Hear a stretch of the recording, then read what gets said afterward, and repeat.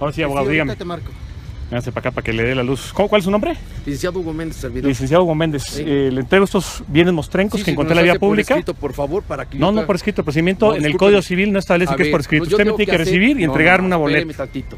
Yo le entrego la boleta, más Así que es. la haga usted entrega, por favor, también, para Por que yo favor. la acuse de recibido. La boleta me la va a hacer usted y en la boleta le firmo yo de, de A entregado. ver, estamos en un lugar político agresivo, no en un municipio, que quede claro. Bueno, lea el usted Código menciona. Civil, abogado. Por eso mismo Lea se el lo Código estoy diciendo, Civil. Hay un artículo 17 de la ley de Así. administrativos. Yo no soy Yo con mucho gusto se autoridad los recibo, para nomás que usted atender esa ley. entréguemelos. Por ¿Sale? eso.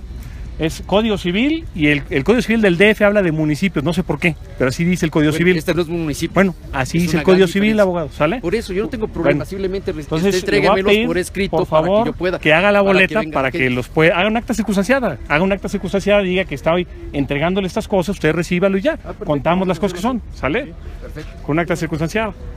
Bueno, el abogado me dice que tengo que apegarme a la ley de procedimiento administrativo, Artículo 17. artículo 17, yo no soy autoridad para ceñirme a esa, a esa ley, Es que solamente las autoridad, por autoridades. eso exacto. por eso me apego al Código Civil. No sé por qué lo esté retenido me dejando De acuerdo con el Código Civil, estoy ayudando a liberar la vía pública. El trabajo que no hace la delegación, los vecinos le estamos ayudando a hacerlo. Ah, qué bueno. Está prohibido obstruir la vía pública de acuerdo con el artículo 25, fracción segunda de la Ley de Cultura Cívica, artículo 34, fracción segunda del Pues Reglamento de Tránsito. ayudar Chamizal, Le ayudamos donde usted quiera, abogado. Donde usted quiera, le ayudamos con mucho gusto.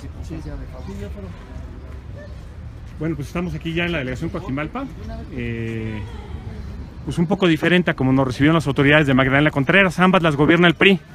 En Magdalena Contreras fueron muy atentos y muy amables, a diferencia de Coajimalpa que llegaron un poco, pues no queriendo recibir las cosas, ¿no? Entonces ya le dijimos al abogado cómo puede él resolver su, su asunto, ¿no? Bueno, vamos a estar por acá y ahorita que levanten el, la circunstanciada nos periscopiamos más adelante.